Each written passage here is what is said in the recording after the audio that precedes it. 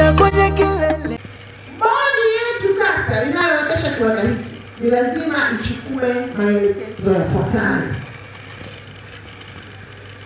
Kwanza, kiwanda hiki kimewekezwa kwa fedha za wanachama, naomba hiyo mlitambue,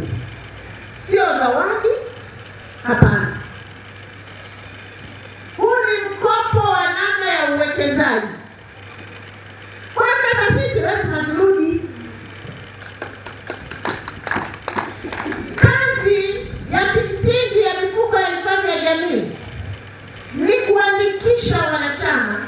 Kwa mujibu wa ibara ya kumi na moja ya Katiba ya Jamhuri ya Muungano wa Tanzania, serikali iweke mazingira ya kuwahifadhi Watanzania katika majanga na ulevi.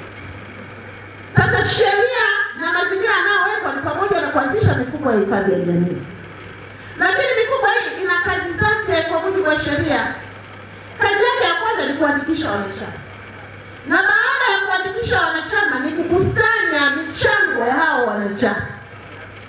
Kazi yake kubwa ya tatu ni kulipa mafao kwa wakati na kwa kuzingatia sheria na mazingira halisi. Lakini mifuko hii ingekuwa inakusanya bilioni moja, inaweka kwenye benki, inasubiri mtu afike miaka sitini, itachukua ile bilioni moja ndio imlipe huyo mtu kule benki, hiyo bilioni moja itakuwa imekwisha. Na ndio maana maagizo ambayo yako wazi ya Mheshimiwa Rais na serikali, wenzetu hao wa mifuko wakusanye hiyo michango, wawekeze mahali penye tiba ba- penye tiba na mahali ambapo mchango hiyo italipa na itakuwa na tija kusudi wenye michango yao wanapofika umri wa kustaafu, basi ile michango imeongezeka unono. Wawekeze mahali penye tija, wasiiweke tu benki kule. Wakiweka tu benki haiongezeki, na ndio maana hiyo fedha wameichukua, wamekuja kuwekeza hapa miamba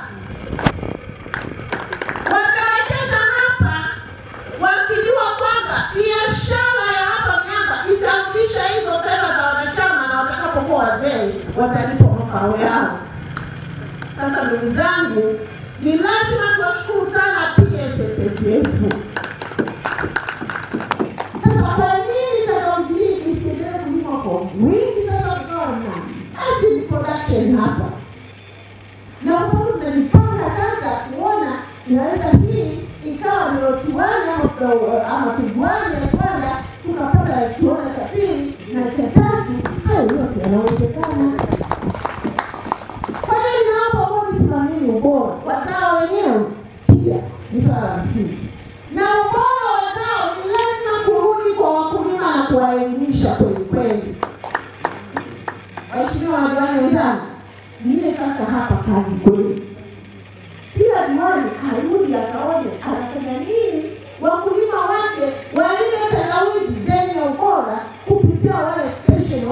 Tulionao kwenye kata zetu. Jambo hili sasa ndio la kwetu sisi wote. Msimwachie Mungu peke yake, msimwachie Mungu peke yake, msijiachie chama.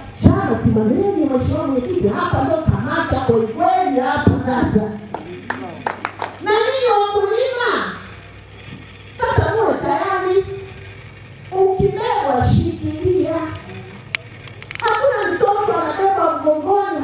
biara ne taa wo bi na na ɛkɔ nkiri no aba hata ntɔkwa ti bɛ wa sisɛ ti ma ma ti mu ma n bɛ bɔ kɔni na ɛsɛ yi tumi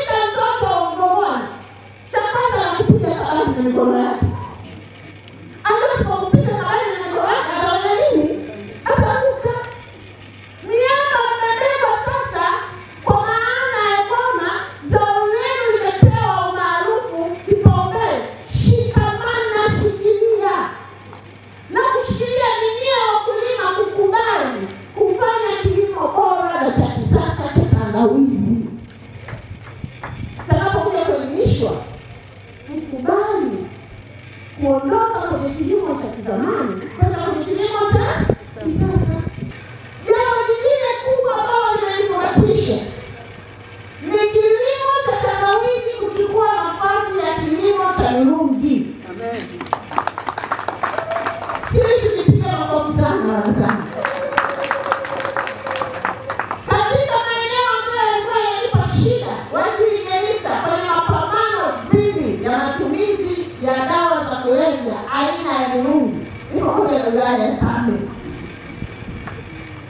Jamani, mmelima Mirungi Same, mmelima kwa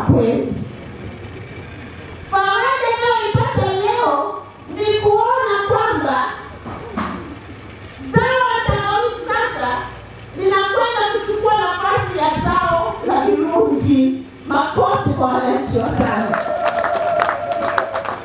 Niombe kabisa kamati ya ulinzi na usalama, kurugenzi ya timu tujitahidi kuhakikisha tunatokomeza ulimaji wa mirungi na nafasi ya mirungi ichukuliwe na zao la tangawizi.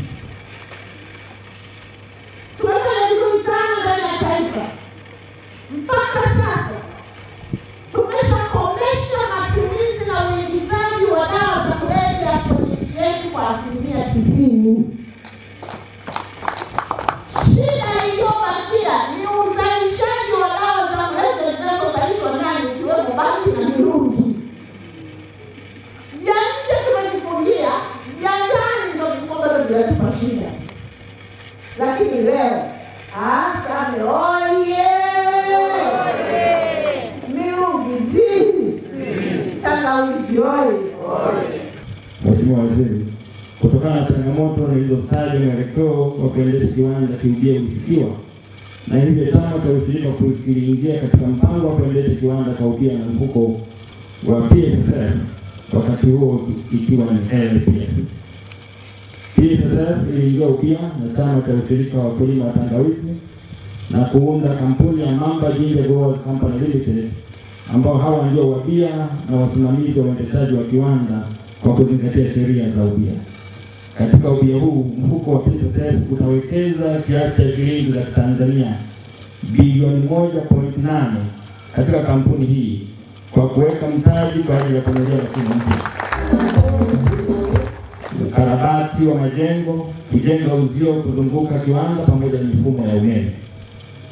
Kwa mujibu wa mkataba wa hisa, mfuko unamiliki kwa sasa asilimia sitini na saba kati ya hiyo kati ya hisa milioni mbili na nusu zilizosajiliwa na kampuni ambapo MGGRCS ambao ni ushirika wana umiliki wa asilimia thelathini na tatu katika hisa hizo.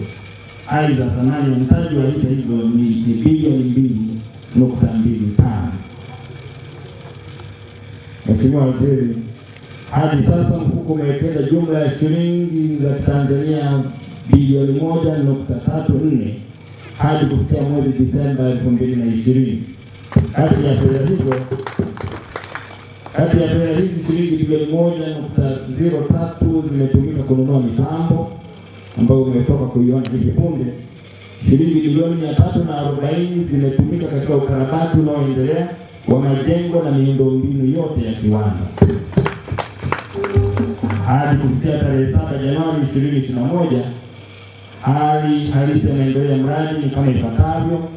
Mashine zitakazotumika kwa ajili ya kiwanda zipo kiwandani tayari kama ulivyoziona toka tarehe kumi mwezi Septemba elfu mbili na ishirini. Mfumo wa umeme kutoka TANESCO mpaka kwenye transfoma umeshafika kiwandani.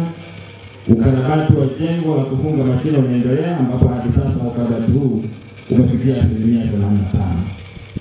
Mheshimiwa Waziri, kutokana na hali halisi ya maendeleo ya kiwanda kinachosubiriwa kwa sasa ni kukamilika kwa ukarabati wa jengo pamoja na kukamilika kwa manunuzi ya vifaa vya miundombinu ya umeme ili mashine hizi sasa ziweze kufungwa.